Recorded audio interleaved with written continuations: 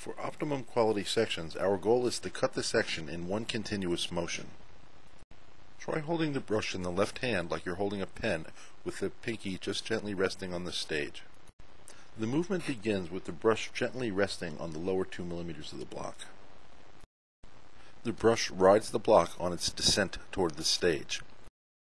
As the blade begins to cut this section, the brush will jump off the block, grab the curl, and begin its horizontal path across the stage. The brush pulls the section across the stage like you're pulling blankets over you in bed at night. The brush, which is already in motion, will grab the edge and continue that motion without hesitation. The movement of the brush becomes a small elliptical circle, which is moving in synchrony with the turning of the wheel of the cryostat. This can be likened to turning both pedals of a bicycle. With practice, we develop a great deal of dexterity with the brush, much like we do when we practice a musical instrument.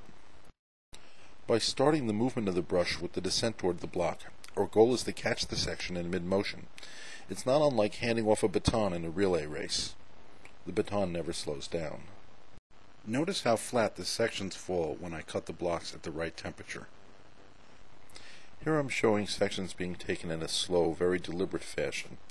A little later I will speed up and show that I can continue this same process even going at a very rapid pace.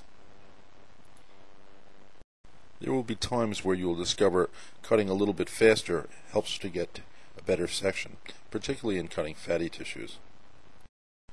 The key to an optimal quality frozen section is a continuous uniform motion of the block, a sharp blade, and a clean stage.